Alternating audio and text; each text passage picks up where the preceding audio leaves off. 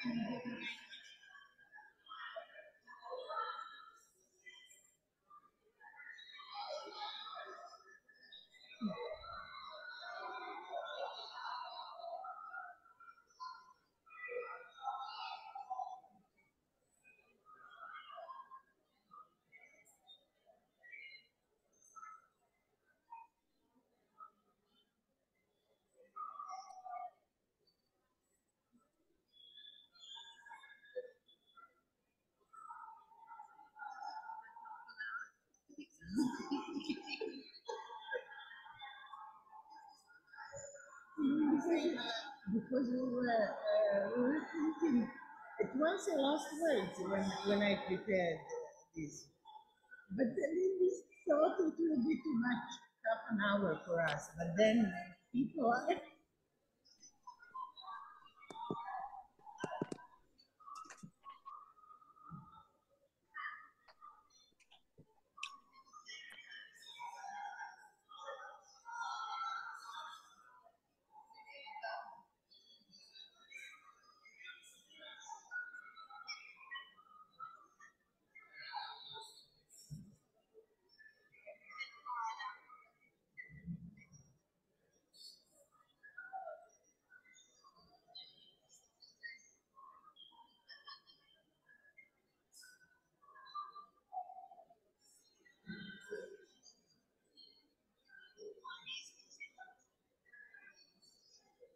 we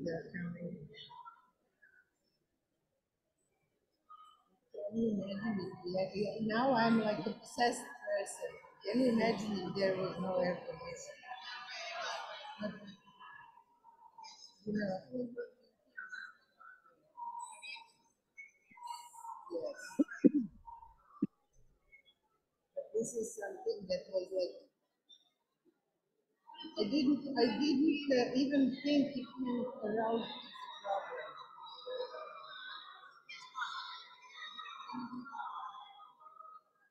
How many of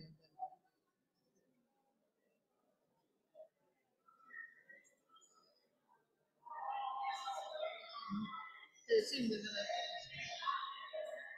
Oh, Sandra is there.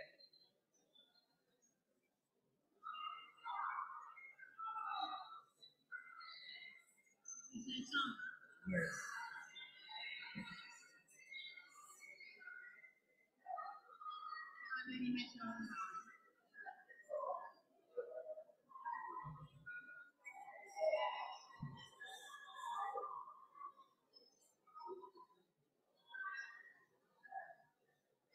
up there. If you if you want to wave to the people on the screen,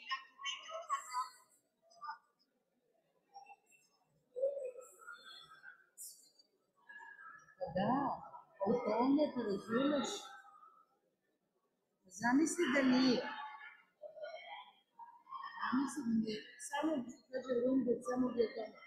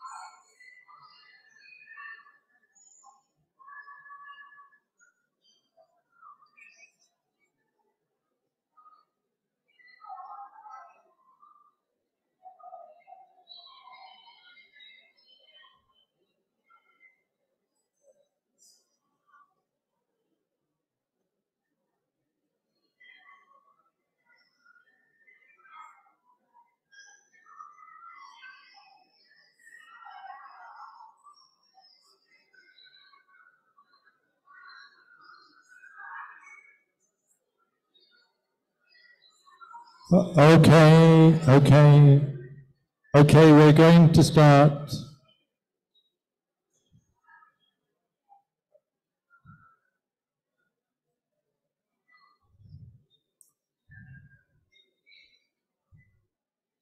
We're going to start.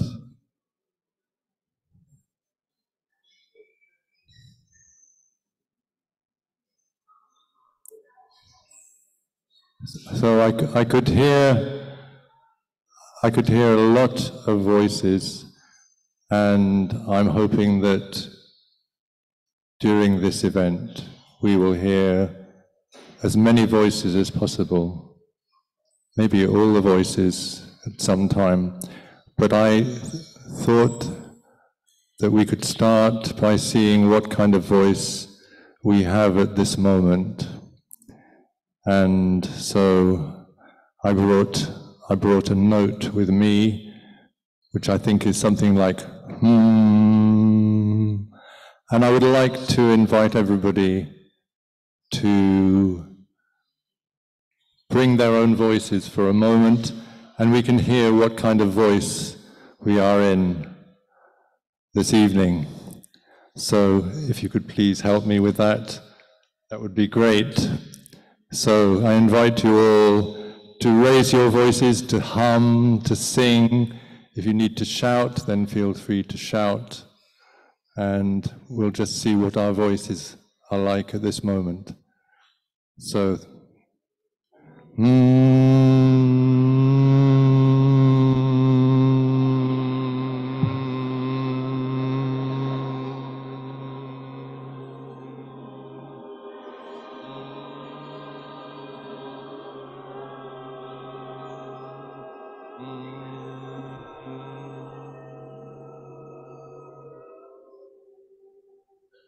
Thank you very much. I can, I can die happy now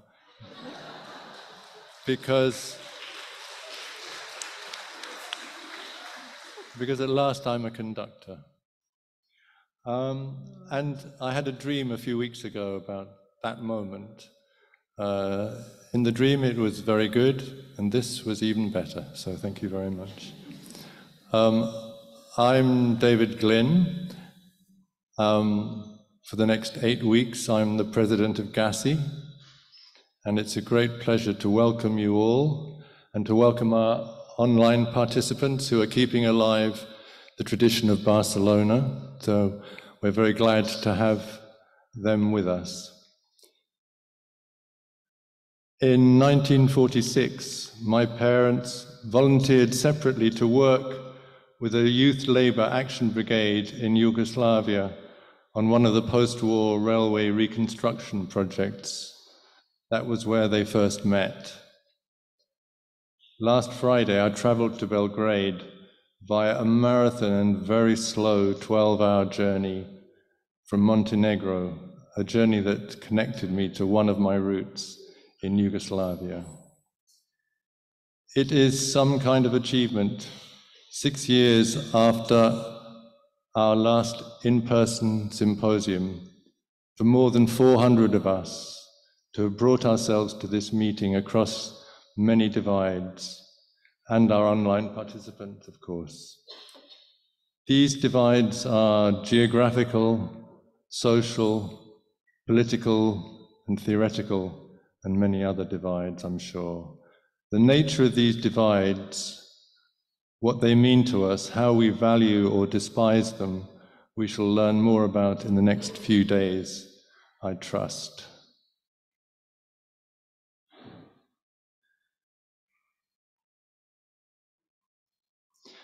Divisions are the product of history and are the ways that we defend ourselves against the limits of our experience and our understanding.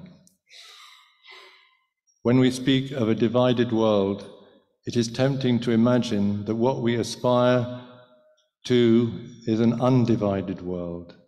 But this is a questionable objective. If 10 people meet in the park, the group will need to divide if they wish to play a game of football. When historians discuss past events and discover that they are. Oh, sorry, I keep losing my.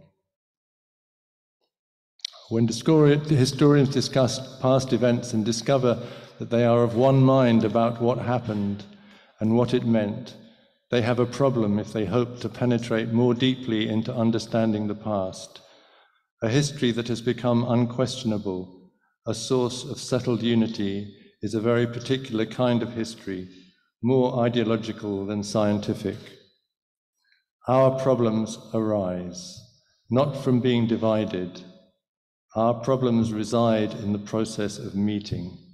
What form of meeting and in what spirit do we meet one another? For a fruitful meeting to develop, there is a need for basic respect and real interest in the world or worldview from which one is divided. Nothing is more destructive of such a meeting than the idea that one already understands the other's world. Contempt and dismissal give evidence that one has joined the meeting in order to eliminate the other world. The world today creates ever more potential meetings of divided worlds.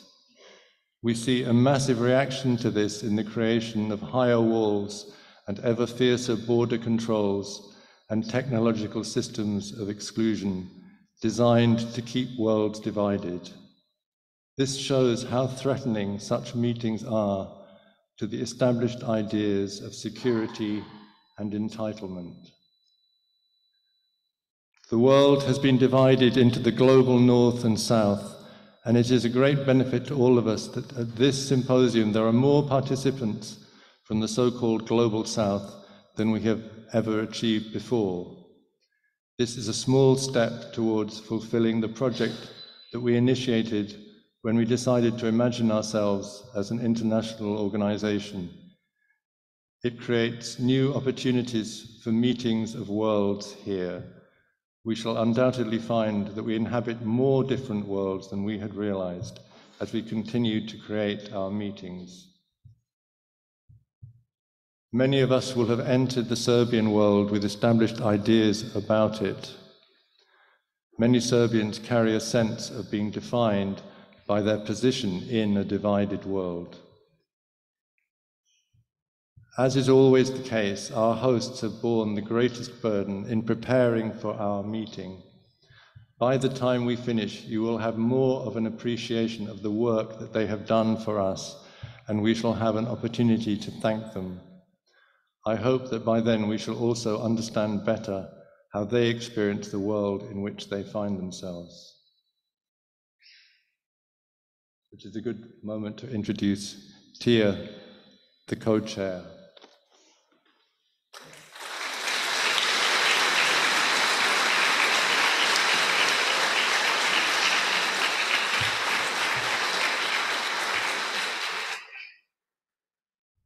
Thank you, David. It's my honor to uh, be a co-chair of 18th Symposium uh, 2023 in Belgrade. Uh, so my honor is to greet my all colleagues, members and non-members of GASI and Group Analytic Society Belgrade and all over the world. I would like to start with the expression, Belgrade is the world. This slogan was on a banner in front of the students and citizens demonstrations against the regime in 1996. I decided to use and to start with uh, this uh, sentence because that is how I see Belgrade today and the next five, four days of the 18th GASI Symposium. 500 participants from different parts of the globe decided to join us in trying to think and feel the moment of divided world we live in, perhaps more than ever. I believe that there is a legacy of different layers of history that David shared. I started with this part of the history that most of you are more familiar uh, living in these decades but there is another history that David mentioned, and that was the history when this generation was born. A society, when your parents, David, were here to uh, help in building uh, Yugoslavia, maybe they met with the parents of somebody who is all here present or mine. But at that time, society's values transcend someone's name, nationality, religion, race, or place of birth. Truly allows openness and true equality. And that is why I think uh, that there are here so many people also, because uh, this is the history not only of uh, Yugoslavia, but also uh, the whole third world. That is also the story of how, of how I came to be. I wouldn't have existed if my parents weren't encouraged to embody those values freely. As we attempt to preserve these values, we are faced with the opposite.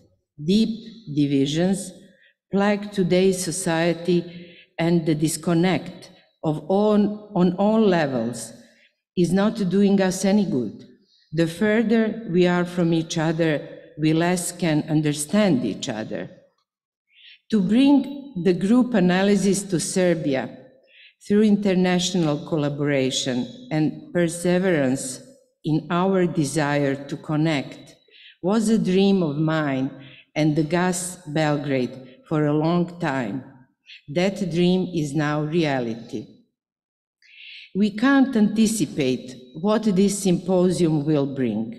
As organizers of this event, with my colleagues uh, from Belgrade Society, from GASI, uh, we felt a responsibility to create an atmosphere in which you will feel safe enough, but more importantly, courageous, courageous.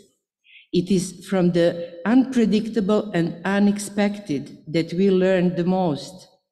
At the start of the symposium, I asked to myself and to you the question, will this experience change us? If we dare to face the uncertain and engage with one another truthfully, we might change something for the better. So we can start. Thank you.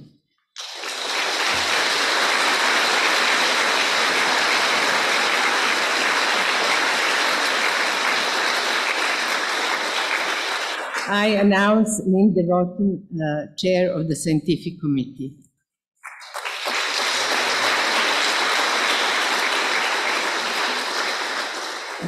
Thank you, Tia. How wonderful to be here. The overture to an opera is often the last thing to be written, and so it was for me. This has indeed been an opera, a great work. To prepare the symposium with my colleagues on the Scientific Committee, the Local Organising Committee, and the Symposium Management Committee. So today I ask myself, what has it all been for? How can I bring together the themes that have emerged in order to write the overture? It all started more than two years ago with the search for the title, When Divided Worlds Meet. And our first visit to Belgrade to meet our local colleagues in person was as far back as February 2022, the day after Russia invaded Ukraine, a war that continues today and is a stark reminder of the terrifying consequences that can result from a meeting between divided worlds. We see these fatal consequences writ large in many places in the world currently and throughout history, and they remind us of our purpose in preparing the symposium. Does one world have to wipe out another, or are there other ways of divided worlds to meet? And does group analysis have anything to offer in helping to find these? Of course, there are more positive results of confluence, personally, professionally, culturally. Otherwise, we would not be holding this symposium. I suspect many of us here are a result of a creative meeting between different worlds. So many of us have been drawn to group analysis because we have a mixed cultural heritage or have ourselves migrated to another world and we wonder about questions of identity and belongings. In my own case, I am only here because my father drove his parents for a holiday to Switzerland when travel became possible again after the Second World War. And there he met and fell in love with the hotel receptionist who followed him to England and became my mother. Not such divided worlds, you might say, Switzerland and England, but still divided by language, by certain attitudes and traditions. Fortunately, my parents treasured these differences in each other, and we grew up thinking of them as valuable and enriching, which stood us in good stead when we were teased at school for mispronouncing words. So, we have prepared the opera for you, but as Fuchs said, we do not know what music will be played. It is open to you to bring it to life. Operas are full of passion, of love and hate, of conflict and re- reconciliation. So the days ahead are rich with possibility. And I would like to welcome my co chair, Ivanka Duncic.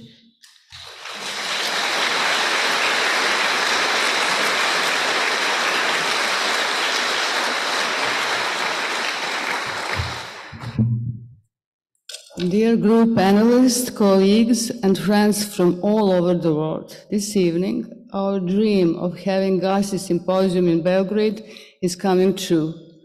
This was a dream with many anxieties because when we started a couple of years ago, the, we didn't see yet the end of pandemic. So we were faced with the possibility and certainty whether it will be possible or not. The very day we met for the first time in person in Belgrade, the war in Ukraine started. So it brought new amount of anxieties to our work and more amount of uncertainty about future. But I guess that this reflects the state of things in the world that we are living in. Uh, during, uh, we also, uh, all the time, our colleague from Ukraine, Taras Levin, although living in war circumstances, managed to stay and to help and to co contribute a lot in our scientific committee. This was uh, an, a journey and a venture that we went together and learned a lot from each other. And we are hoping that we are going to have a nice couple and rich couple of days in front of us. Thank you.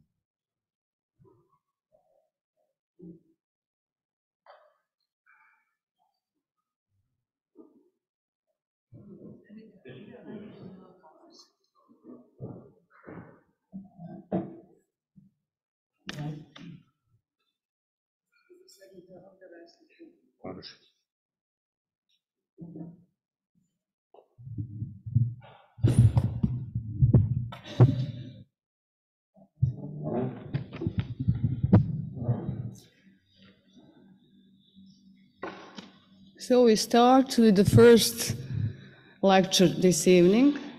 It's been my great honor and pleasure to present to you uh, our dear guest, Goran Markovic.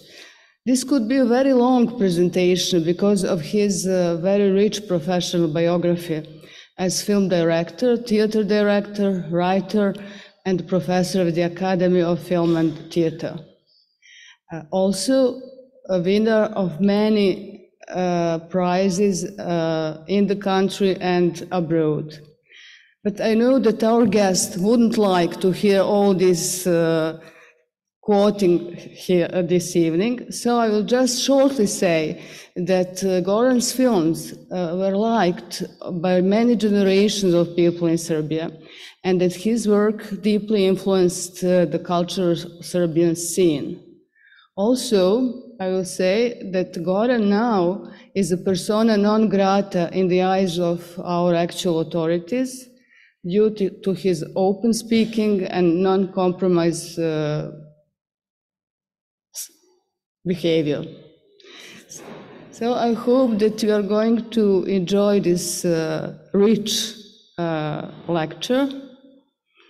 And uh, unfortunately, we didn't plan uh, the discussion with the auditorium, neither in person, neither online, but I, have, I will have the privilege to ask some questions from Goran. So thank you, Goran, for accepting this, and let's go. Goran is going to speak in Serbian, and our colleague group panelist from Belgrade, Vesna Radonjic, is going to help with the translation. You all have in your phones, I think, the Goran's uh, translated lecture, and it's going to be projected on the wall also. Unfortunately, my English is very bad, and I, I'll speak language which I know. okay. Ja. E, hteo bih da se ovom poštovanom skupu pre svega zahvalim na časti koju mi je ukazao pozivajući me da kao čovek koji ne pripada krugu ljudi koji okuplja ovaj kongres ili skup, probam da doprinesem iz svoga ugla pokušaj razumevanja fenomena grupe. Mislim da je to tema kongresa. Doduše, mislim da na to imam izvesno pravo, s obzirom da je jedan čovek, vaš kolega Hugo Klein, bio i moj kolega, jer, je, jer, jer se pored psihoanalize bavio i pozorišnom režijom. I šta više bio moj kolega na Fakultetu dramskih umetnosti, na kome je predavao pozorišnu režiju. On je rekao, sad ću da ga citiram, pozorišna umetnost je naj najjeftinija i najzanimljivija škola kulturnog ponašanja i plemenitog postupanja u životu. Pogrešno je izjednačavati delatnost dramskih umetnika sa igrom. Pozorišni umetnici se ne igraju pozorišta, to čine pozorišni diletanti. E, diletarsi, to je italijanska reč za diletant, to je upotrebio. Znači, e, naslađivati se.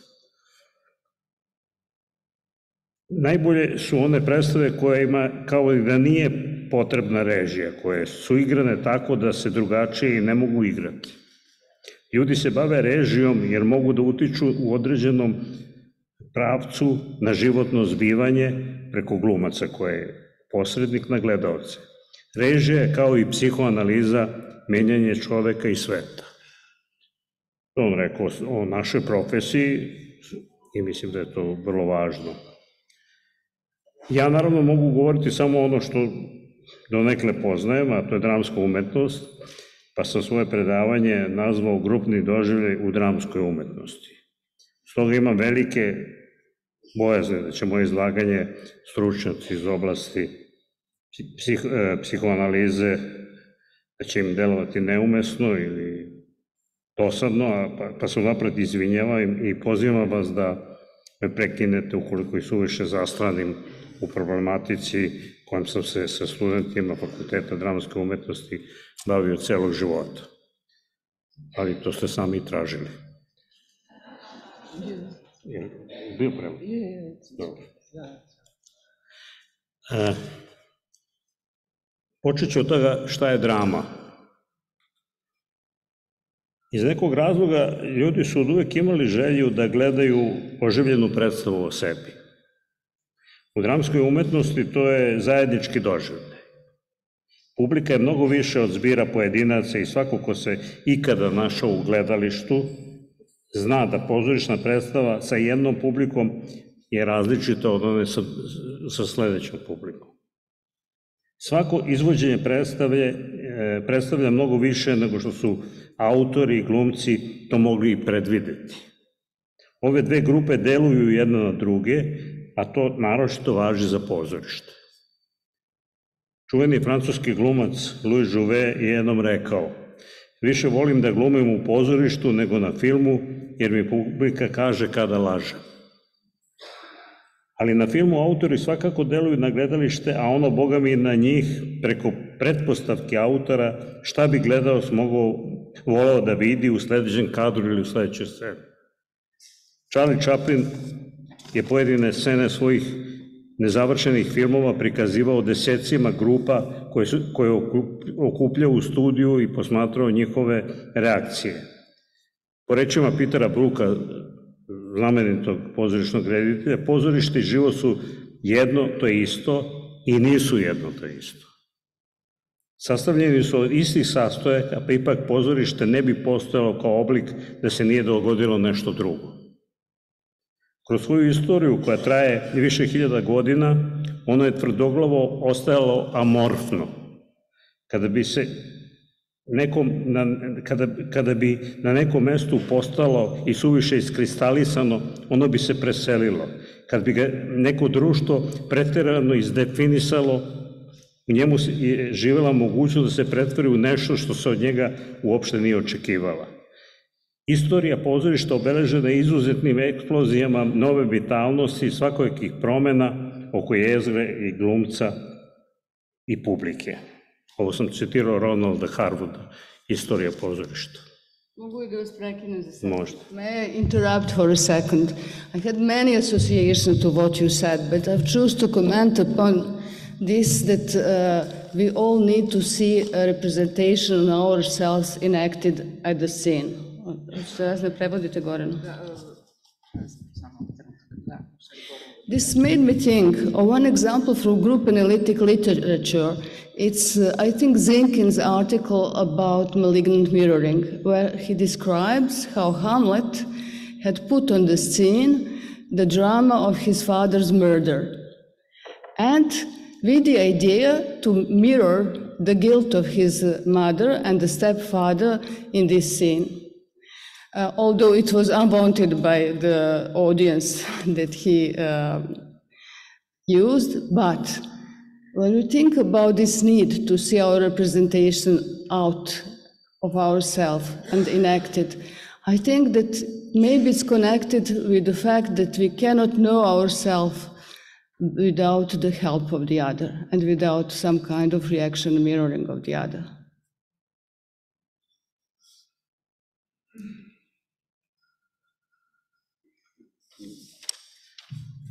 Nisam siguran da sam razumio. Možete li da mi kažete? Da. I will just translate quickly to Goran. Uh, rekla sam da ta potreba da vidimo sebe van sebe na, na sceni je povezana sa situacijom da mi ne možemo da spoznamo sebe bez pomoći drugog i odreza drugoga. I uh, u jednom članku grupno-analitičkom postoji primer da je Hamlet postavio na scenu ubistvo svog oca da bi ogledao u licima majke i očuha njihovu krivicu. U Hamletu postoji još jedna veoma važna psihoanalitička scena, to je scena Mišolovke. Molim? Na mikrofon. Da. Kažem, u Hamletu postoji još jedna vrlo važna psiho, psihoanalitička scena, a to je scena Mišolovke, u kojoj Hamlet e, zapravo postavlja nešto što bi moglo ličiti na, recimo, neku, neki prizor iz psihoterapije. Jel? On daje instrukcije glumcima šta da igraju, oni igraju određene likove koji postoje, kao u psihodrami, na primjer. Jel? Dakle, još onda je ta, to ogledanje drugome zapravo, ali ja ću se vratiti ovde na to, na to ogledalo, to je često slučaj uh, uh, za razumevanje. Mislim da čak u sledećem... I will just translate quickly. Goran says that this uh, situation when Hamlet put uh, uh, on the scene his uh, father's murder is some kind of mousetrap known very well in psychodrama and later as mirroring in different situations. Ja moram ovde sad da napravim jednu malu digresiju. Ja stalno pominjem pozorište, a ja se bavim filmom celog života, ali pozorište ima jednu više hiljada godina staru tradiciju, a film ima jedva sto godina tradiciju, tako da jedno i drugo predstavljaju dramsku umetnost, ali kada se govori o nečemu fundamentalno, onda se mora govoriti o pozorištu. To imamo, we have.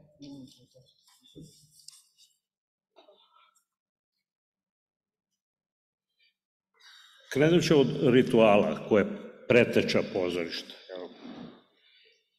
Osnovi svega stoji drevni ritual i padanje u trans. I glumci i gledalci su u pozorištu obavezni da izgube svest o sebi. To je, to je ideja. Da se dislociraju iz mesta na kome se nalaze, a to je dvorana, bioskop, i kao u dnevnom ritualu u kome učesnici gube svest o realnosti. To je pretpostavljeni cilj, cilj rituala. Da se pobegne od svakodnevice i da se prenese u nešto drugo. U prvom slučaju, znači, u drevnom ritualu, taj beg organizuje vrač, a u drugom umetnik.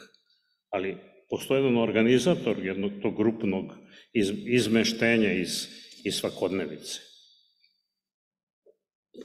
Tu imamo tu sliku broj 1, dobro, nema veze, to je jedna prosto ilustracija, slika broj 1.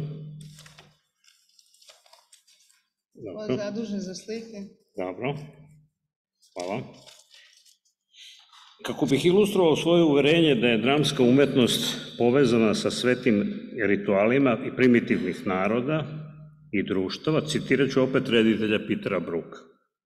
Na početku predstave imate jedan određeni broj ljudi, 50, 500, 2000 ljudi, svi su oni sa, sa, samosvojeni fragmenti bez ikakve prirodne međusobne povezanosti.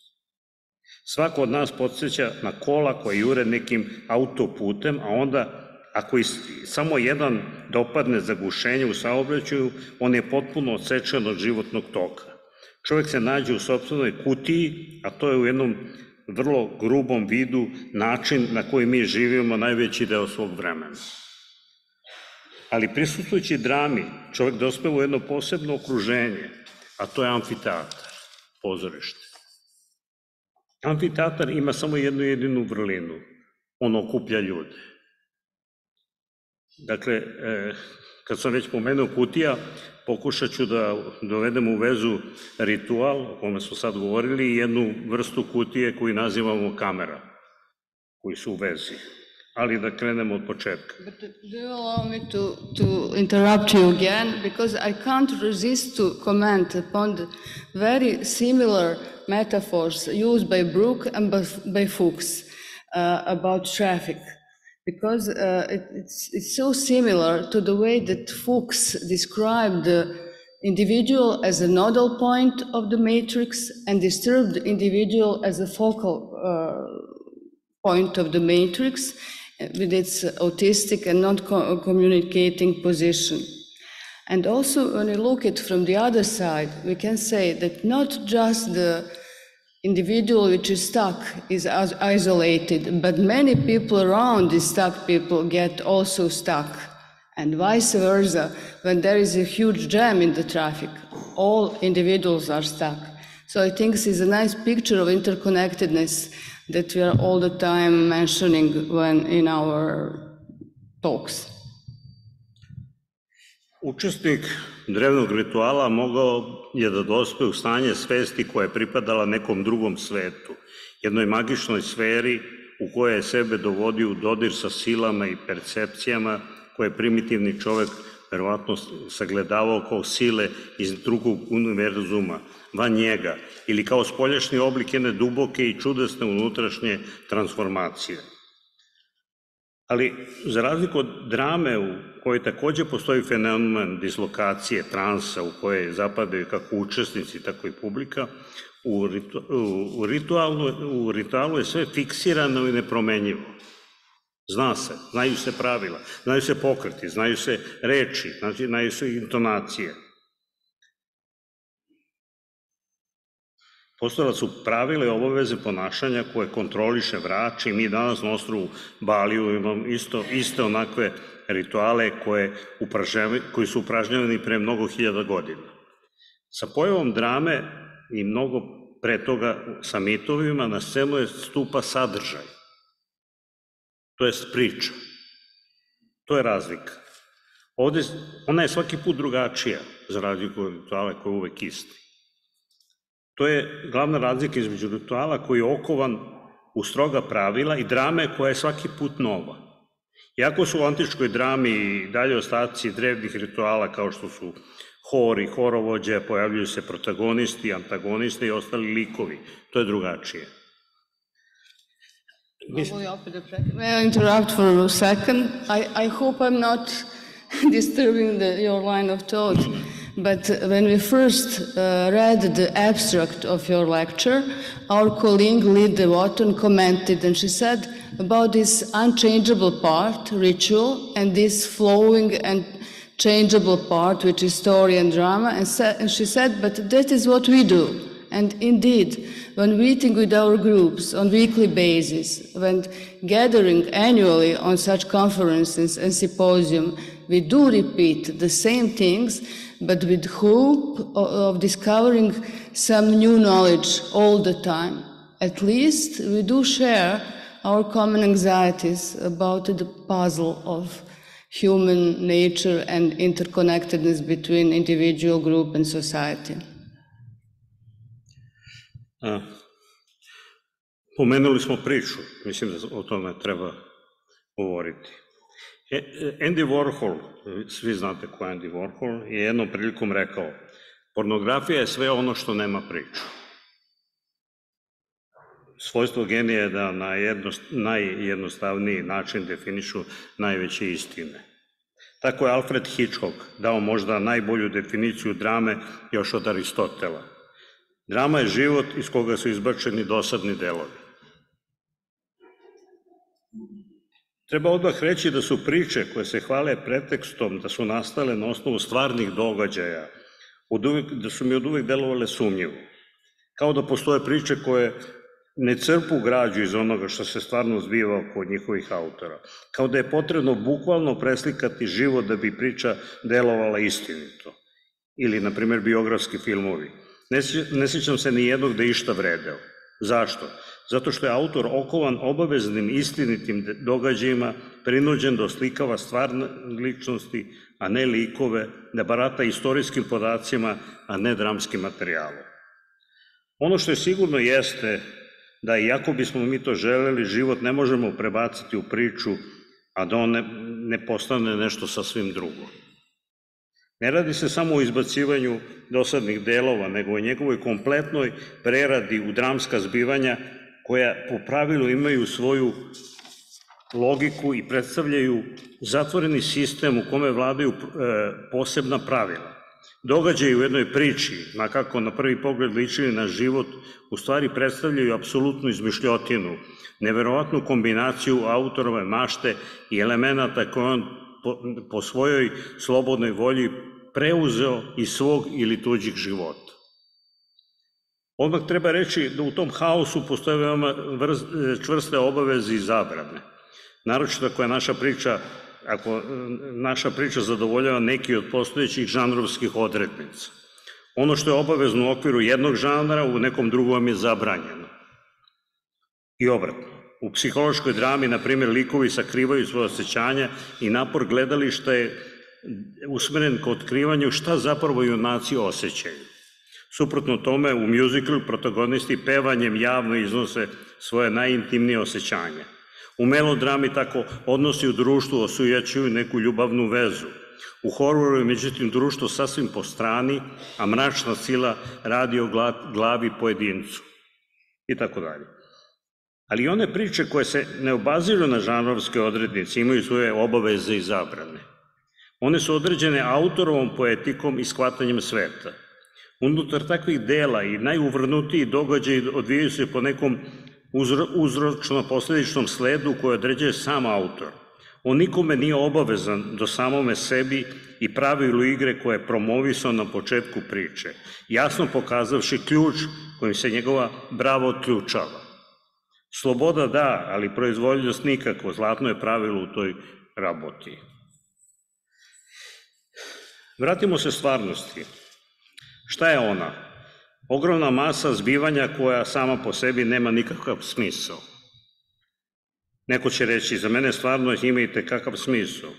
Dobro, ali neko drugi će odmah pritom primetiti kako ta ista stvarnost za njih ima potpuno drugačije značenje.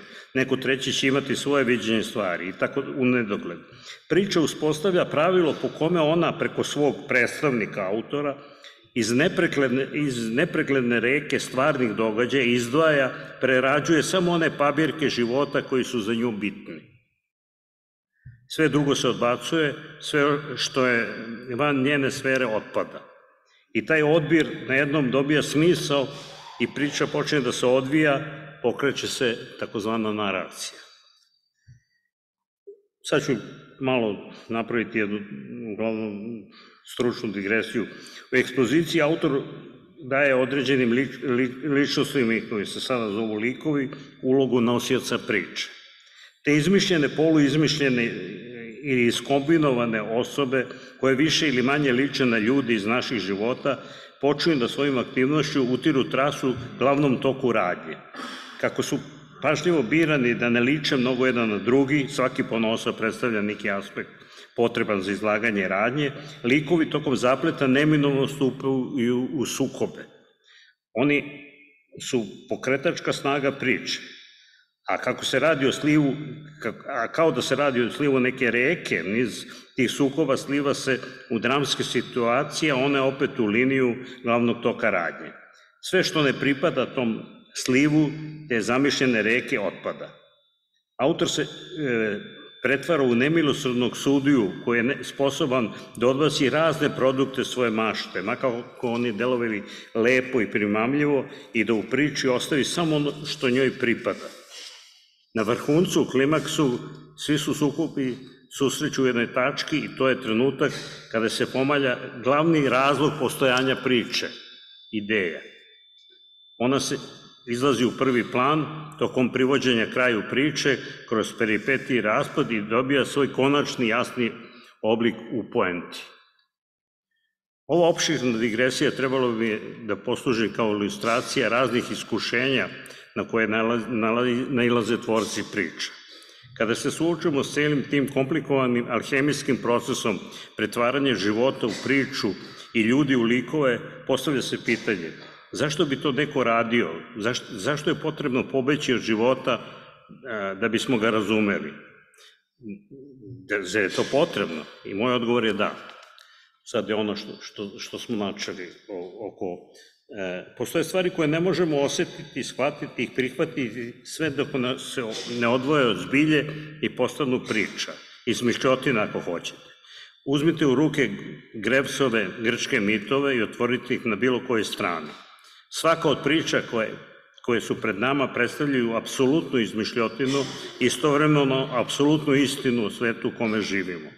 Čovek koji nije pročitao mitove o Sizifu, Prometeju ili Edipu, po meni nije sposoban da shvati svet koji ga okružuje. Ili Biblija.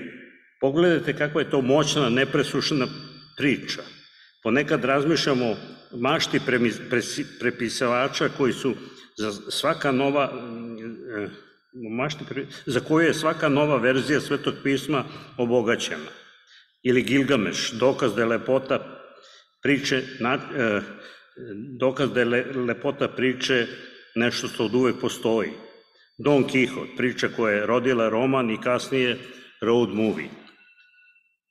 Čehovljeve pripovetke u kojima se nalazimo svi, apsolutno svi, ili Paul Oster, da ne nabrajam. Priče, priču je čovjek izmislio da bi osvojio prostor u kome realnost nema šta e, da traži. Ona mu je dozvolila da svakodnevno, svakodnevicu pretvori u spasovnostnu substancu koja će mu omogućiti da svojim životom učini nemoguće, da pobegne u slobodu koju inače nigde nema i nikada je neće ni biti. Priča je odgovor duha na trošnost naših života koji se svakim danom sve više osipaju. Da nema priče, sasvim je moguće da ne bi bilo ni nas. Prava priča može da tum, neće da tumači poučava. Ona voli da čitavcu diskretno šapuće istine o njemu pričajući o sudbinama drugih. Isus je u Evanđelju po Mateju kaže Zato im govorim u pričama jer gledajući ne vide, a slušajući ne, ne čuju niti razumeju. Evo što o fenomenu priče kaže jedan od najznačajnijih pripovedeća našeg doma, doba Haruki Murakami. Pravi cilj priče nije da sudi šta je ispravno, a šta nije, šta je dobro, a šta zlo. Mnogo nam je važnije da odredimo da li te individualne i zajedničke priče unutar rastu iz istog korena. Drugim rečima, uloga je priče da održava čvrstinu spiralnog mosta između prošlosti i budućnosti.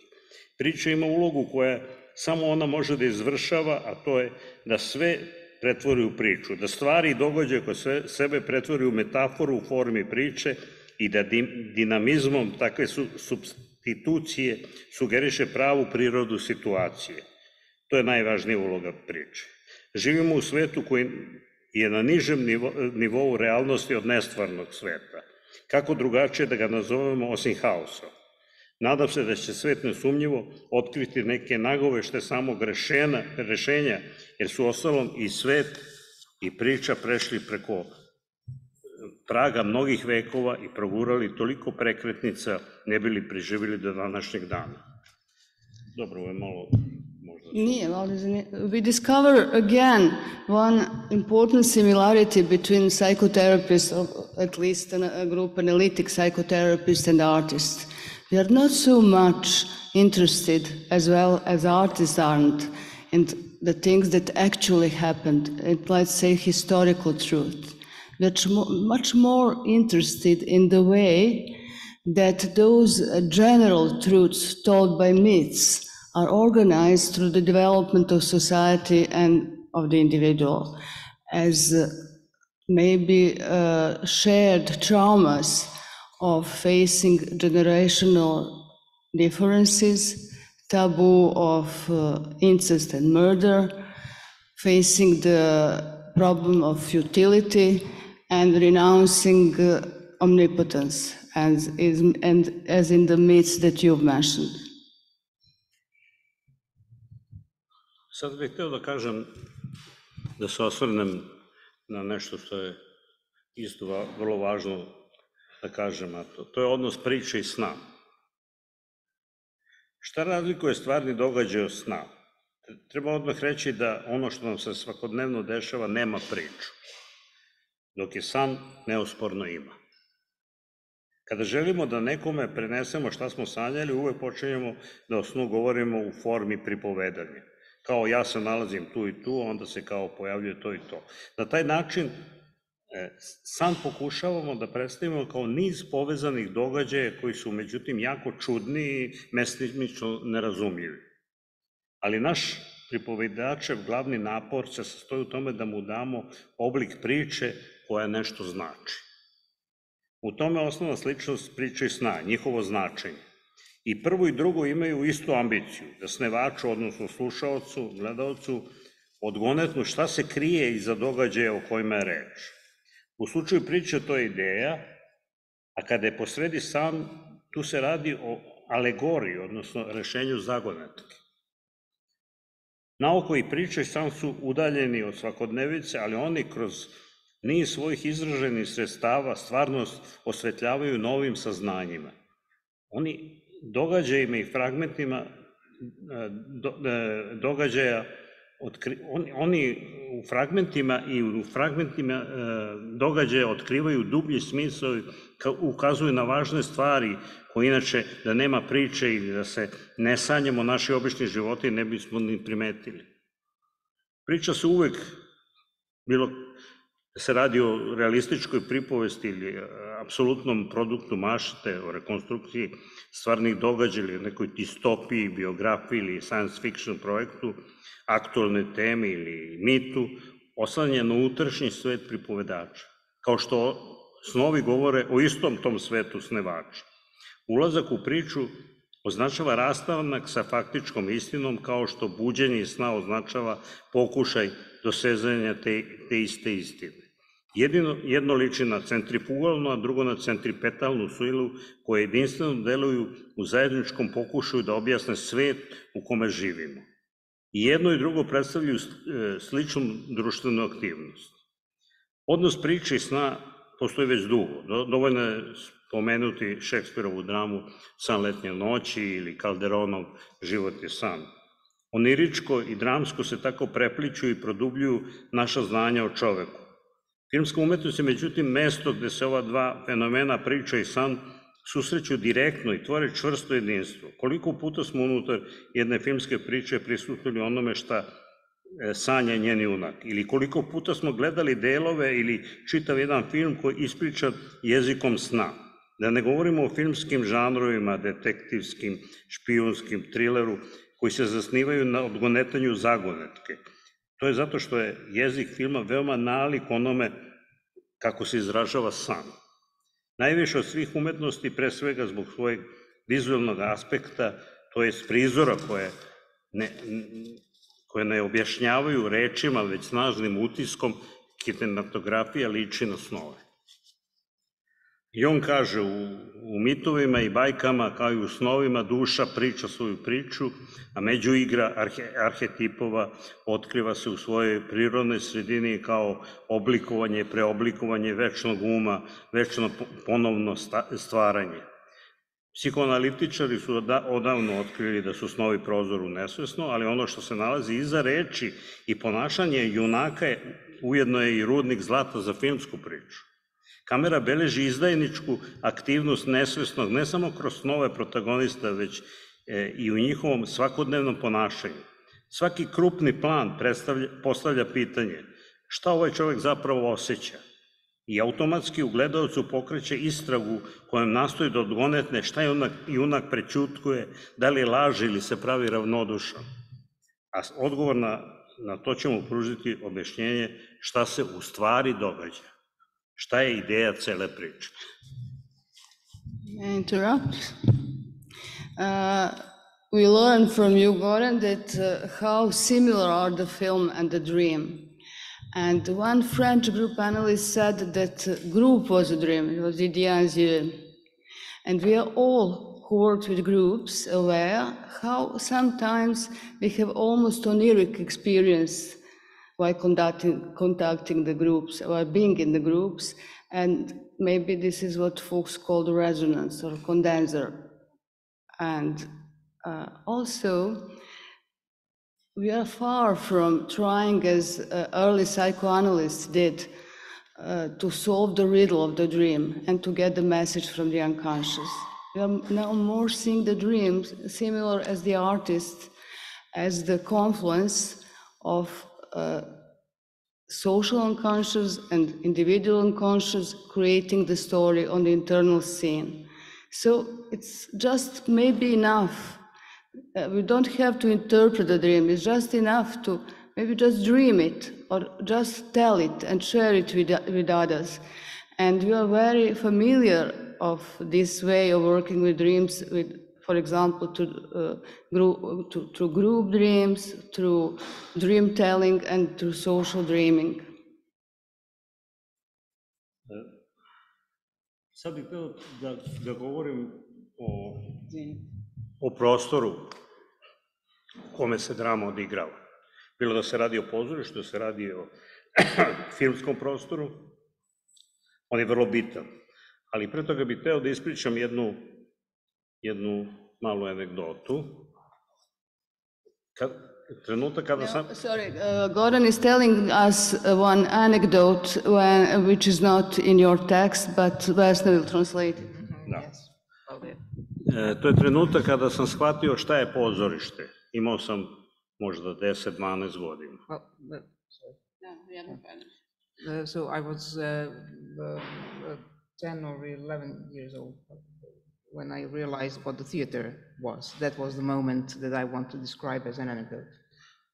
Moj otac je bio poznati glumac. My father was a famous actor. I oni, grupa glumaca, su spremali e, ključno delo 20. veka, pozorišni komad čekajući Godoa, Samuela Beckett. And my father and his uh, theater group, they uh, uh, were rehearsing for the uh, play, um, one of the most famous plays in the, in the 20th century, waiting for uh, Godot.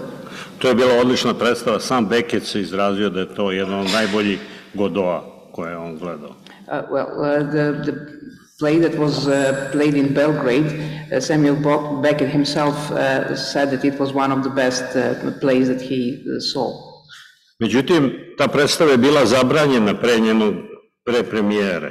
But the, the play was banned before its premiere in Belgrade. Kao došao jedan poznati književnik, uvukao se na probu i, i okarakterisao ta kao nešto što je dekadentno.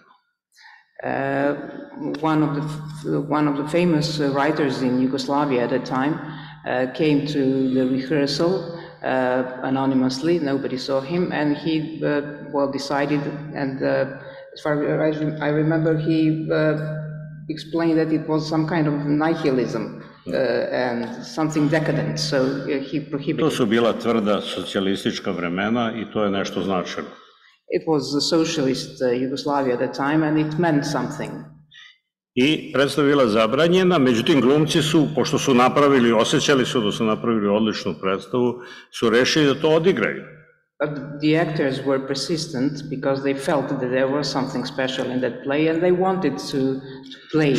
I onda im je jedan poznati slikar predložio da odigraju premijeru u njegovom ateljeu slikarskom, koji je bio relativno prostor. And then one famous actor offered his studio for them to play the, the, the, the play. yes.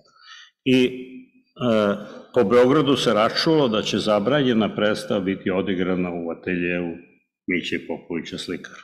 So there were rumors in Belgrade that the famous uh, play will be played in the studio of Mića Popović, the painter. I jako mnogo ljudi je došlo u taj mali prostor. So there were um, a large number of people who came to that uh, small studio. I glumci su stali i rekli su, a gde ćemo mi da glumimo?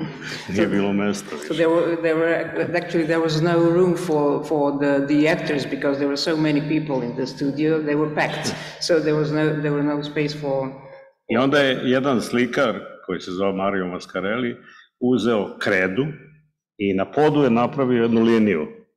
I rekao, ovo je gledalište, a ovo je bina. So Mario Mascarelli took a chalk and he drew a line and, and then that's how he di- divided the auditorium from the actors, of the stage. I to je bilo pozorište. So that was the theater. Jedna kreda je dovoljna. One chalk is enough. Yes.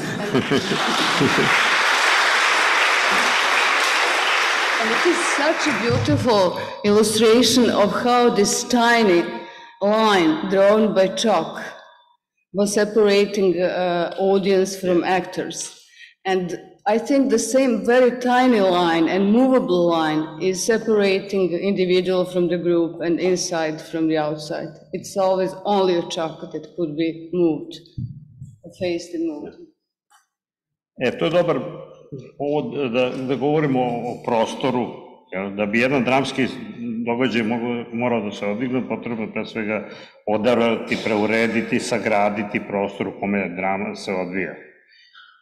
U predhelenističkom periodu pozorišta su imala prostor za, igralište, za, za igru, gledalište i ništa, ništa više. Jedno jednostavno mesto. Znači prostor na kome se igra i oko toga amfiteatar, iza je bila neutralna pozadina, najčešće morska površina. Molim sliku dva. Tako je to otprilike izgledalo. Kasnije kada se priča komplikovala, diže se drvena, posle toga je zidana pozadina za smeštaj tehničkih potreba, koja se naziva skene, ta vertikala. Međutim, prerasta, u svoju, prerasta svoju praktičnu namenu, pa se bogovi i polubogovi dižu u vis za razliku od smrtnika koje ste u parteru. Broj, sledeću sliku, molim.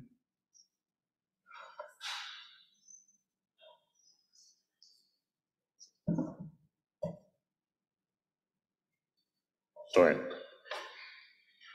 U rimskom pozorištu, pored amfiteatra, grade se i posebne lože za povlašćene, pa se taj, na taj način zgrada za, e, pozorišta zatvara, izdvaja od okoline. Postaje zgrada, to više nije jedan plac na kome se igraju predstave, jel, nego je to zatvorena struktura. Međutim, još uvek e, tu nema krova, pa se, na primjer, u Šekspirovom glob teatru predstavi igraju dalje. Jer nema, da bi se videlo.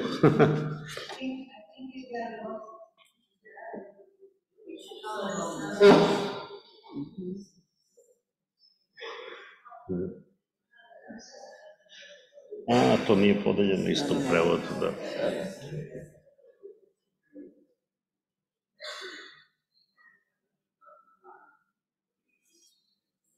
Uh, yes, that's it. Da. Ovaj. Dajte ovu sliku prethodnu, to je slika broj 5, glob teatar. Odnosno, ne, četiri, dajte rimski teatar. Ovo je glob teatar, pet. Dobro. E, kada je građevin, e, građevini dodat krov, dobijemo takozvano pozorište kutiju. To je ono što smo rekli na početku. Kako je, na primjer, naše narodno pozorište ili bilo koji teatar u svetu. Dajte ovu sledeću sliku, broj 7.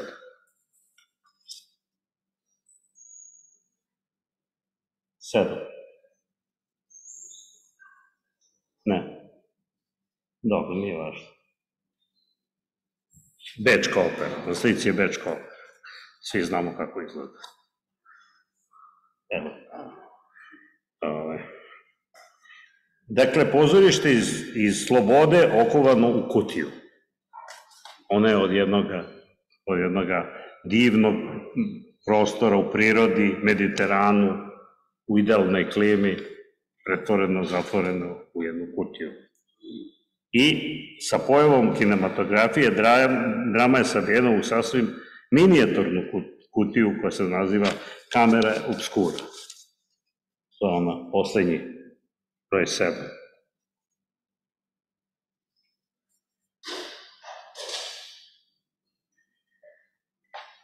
Dotle je to doputovalo. E sada, sad ćemo nešto reći, ako nije ovo sve već mnogo dugačko, a? Šta kažete? Nije, možda važno da kažete ono ritmu. O... Ritam, ritam sad ide. Jest, Može? o ritmu, o ritmu. Pa o ritmu sam teo nešto da govorim, ali osjećam i sam da je već možda zabor, zamor. Are you tired, Barbara? Dobro, dobro. Ovaj, dakle, kao i u početku, u ritualu osnovni oblik izlaganja drame je ritam. Iako se radi o naraciji, dakle, ređenju događaja u kojima učestvuju likovi, način da se akteri i gledalište dovedu u stanje dislokacije transa jeste ritmička obrada priče. U suštini, ritam je jednog dramskog dela čine odnos akcenata intervala. Dakle, naglašenih i nenaglašenih delova. Pošto se film odnosi na život, vi ne možete organizovati ritam ako on nema veze sa realnim životom niko ga ne bi shvatio, ne bi mogao da ga, da ga doživi, on je uslov da gledalište upadne u trans, kao što je ritam vrlo bitan u bilo kom e, ritualnom obradu. Kakav je odnos naglašenih i nenaglašenih delova, na primer, unutar jednog filma? Promenljiv i raznovrstan. To je vrlo važno. Znači, da zadovolja dva principa. Princip promenljivosti, da stalno bude sve novo, kao što teče vreme, i princip zakonitosti, da se ponavljaju stvari koje, su, koje smo već videli, e, uzmemo da je jedno interval, a drugi, drugo je akcenat, i da taj odnos bude stalno u nekom skladu, u nek, po nekom pravilu da se, da se odbije. Ta dva principa su obavezna, ona su aksijom. Nema ritma, gde nema promene i gde se ta promena ne odvaja po nekom sistemu. E ovde sam teo da nešto ilustrujem. Dajte sliku broj 8, od toga nema ovde u, sad, u ovom tekstu. Da. Ova građevina je spiralni to, toranj u Samari. To je, to je jedan e, u Iraku. So this is a spiral uh, tower in Iraq. On predstavlja mesto na koje vernici idu u hodočešće. Uh, that's where the uh,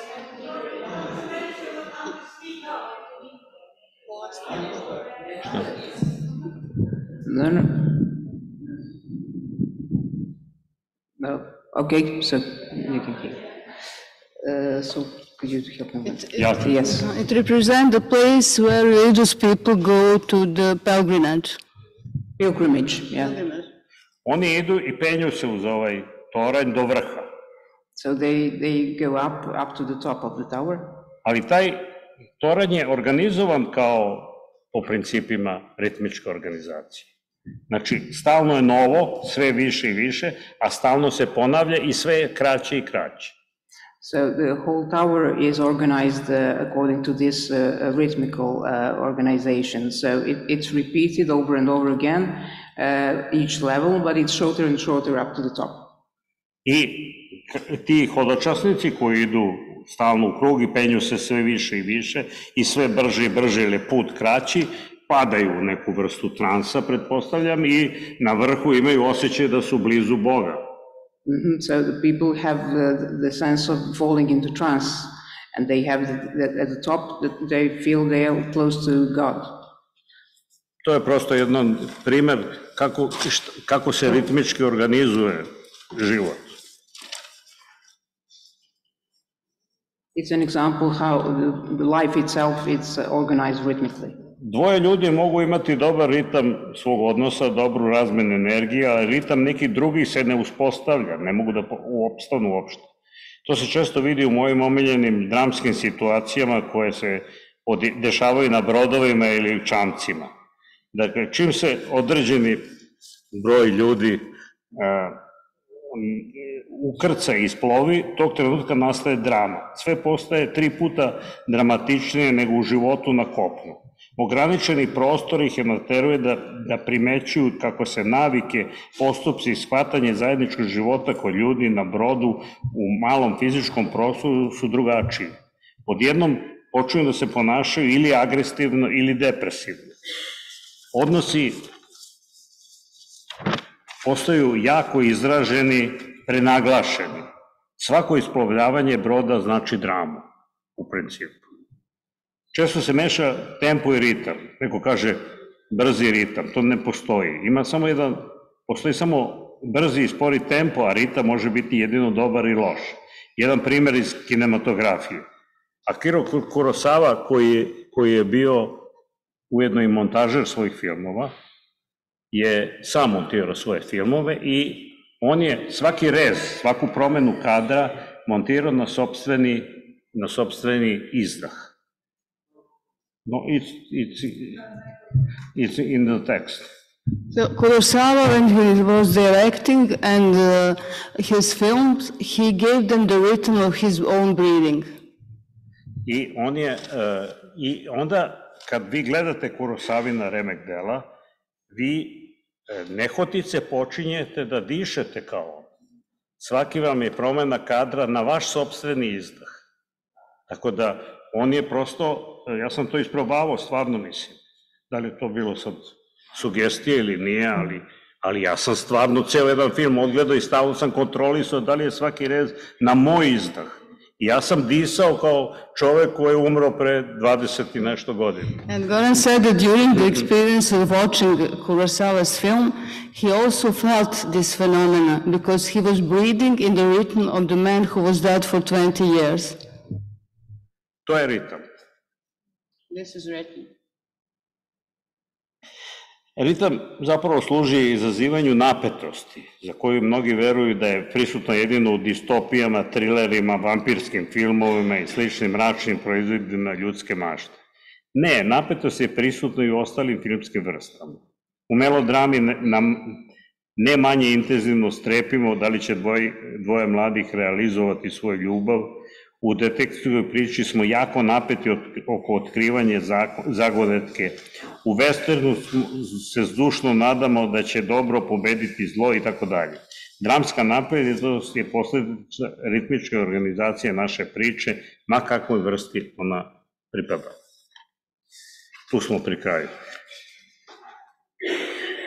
A, čini mi se da, da sam na početku pomenuo ideju koju svaka priča donosi.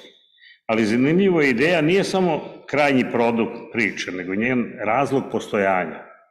Ljudi često misle da kameru postavlja na određeno mesto reditelja, ali to nije sasvim tačno. Odluku šta se i kako snima određuje ideja. Zato je film kolektivna umetnost u kojoj nema jedinog autora. Postoji, postoji samo jedna zamisao koja je okupljeno stotinak ljudi spremni da tu ideju realizuju i ponude je svetu na uvid. Na kraju bih pomenuo ulogu reditelja, koja se, koji se često smatra autorom filma. To nije tačno ili je do nekle istina.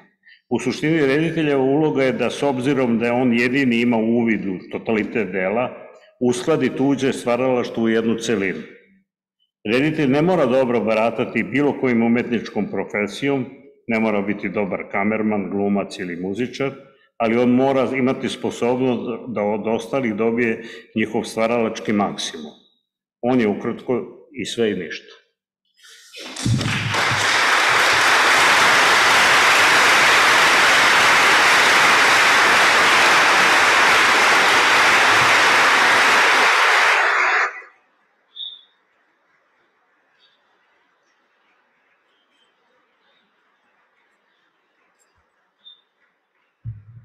I deeply, thank you, Goran. I deeply regret that we, because of this language barrier, you couldn't have this direct communication with Goran in terms of dialogue, and that our communications was more informal to monologues than of a dialogue.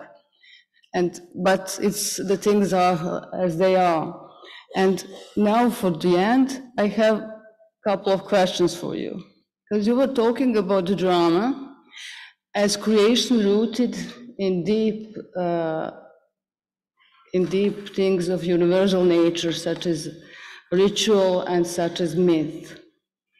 But if you were to choose just one drama that uh, could represent in your uh, mind Balkan mentality, which one would it be and why? Ima, ima jedna drama koja je jako značajna, zove se Putujuće pozorište Šopalović, u koje je sabijeno sve ono što predstavlja naš mentalitet i našu poetiku. Gospodina Simovića. Ovaj, mislim da je to, u, to, u toj, likovi u toj drami su tipični predstavnici ovoga podneblja i u pozitivnom i u negativnom smislu. Uh, so the, the, the typical, uh, well, rep- yes. Yeah, yeah, yeah, yes, well, I'm just not used to it, okay? Uh, so just I, uh, uh, uh, you asked about the um, play or drama that could um, significantly or in a specific way reflect uh, Balkan mentality. And uh, as Mr. Marcois said, it, it, he would choose, if he had to, uh, the traveling uh, uh, troupe Shopalovic. Uh, so each uh, character is a typical representative of Balkan mentality. I u sred te balkanske priče i ratne priče koja je jako tipična za nas, rat, to smo mi, So it's war story. It's it's uh, yeah in, in the middle of that war story, typical story for this. Je e, jako lepo napravljen, ogleda se Šilerovi razbojnici, koja je ta grupa pozorišna igra, ali zapravo Šilerovi razbojnici govore iste stvari. So it's about uh, Schiller. Uh, um, Schiller's uh, um, uh, burglars, but they are. could- Title of the drama. Ko- Criminal. Maybe some, somebody in the auditorium Yeah. knows.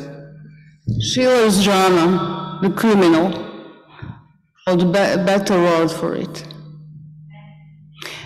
Because the act, robbers. robber. Because the actors of this drama are at the same time playing this drama and living it.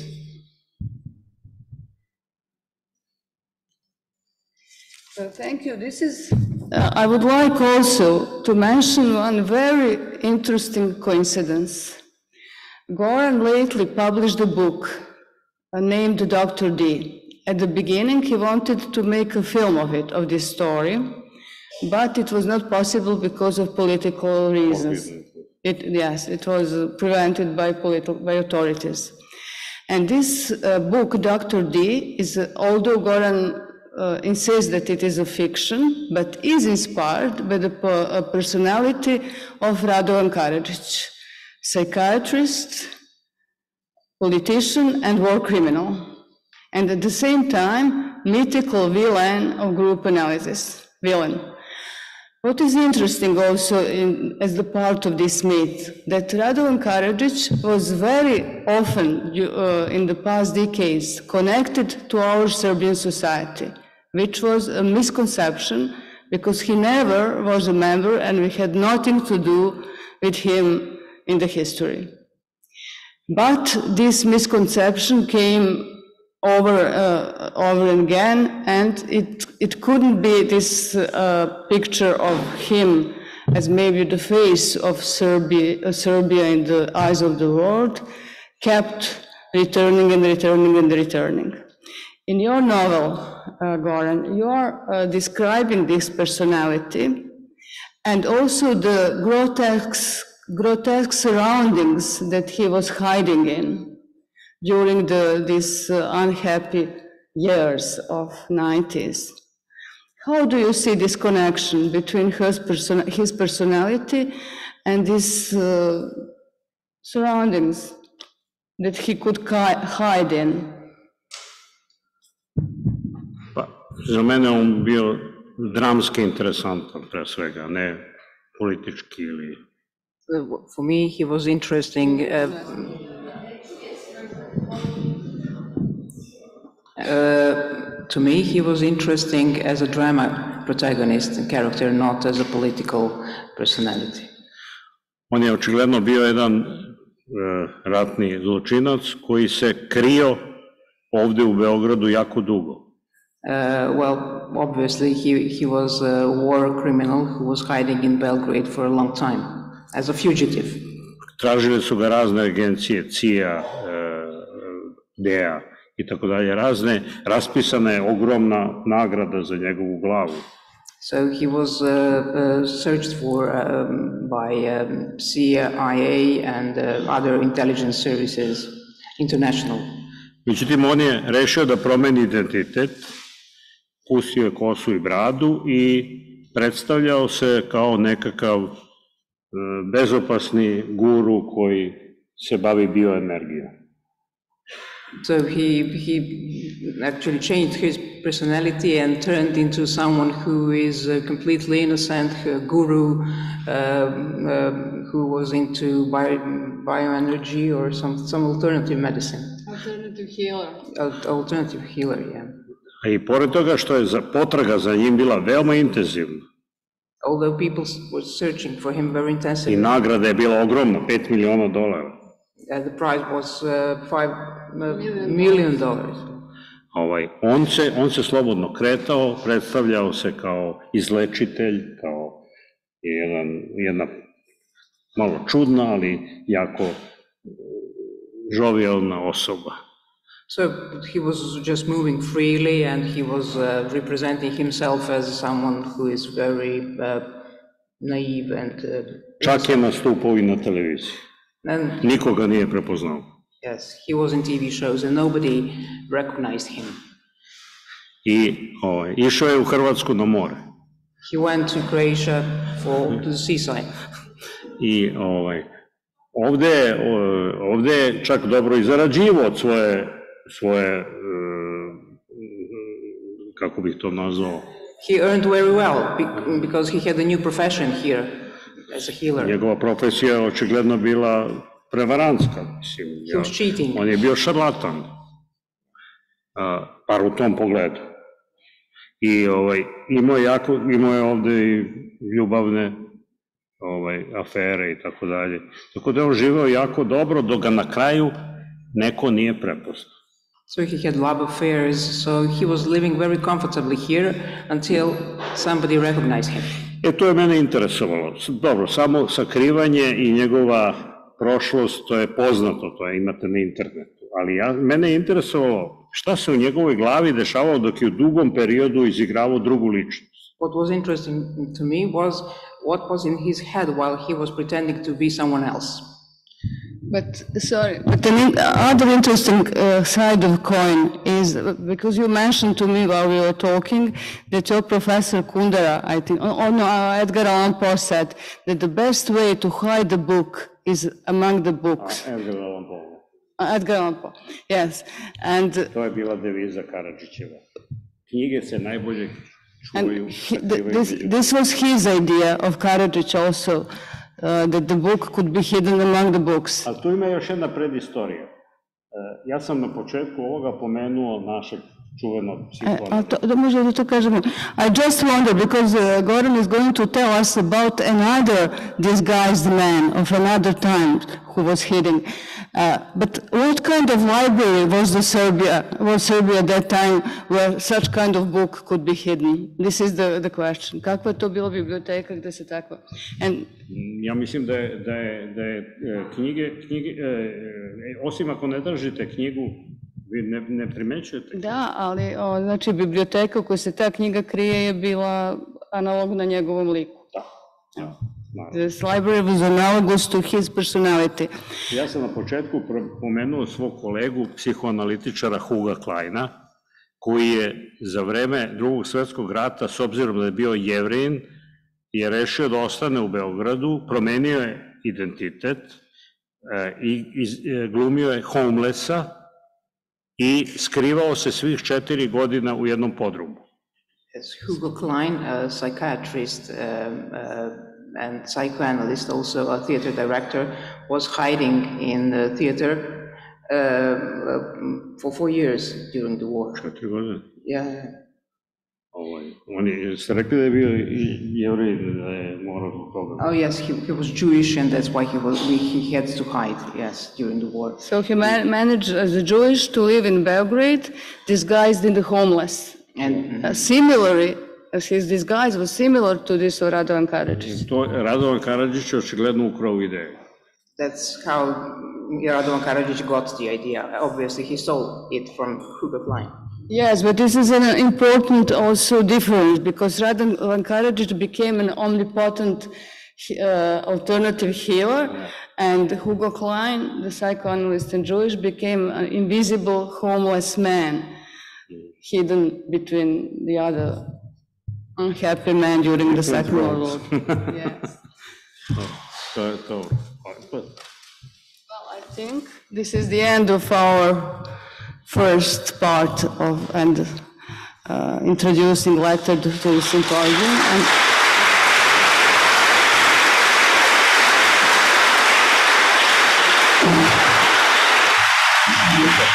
Hvala Bogu da je.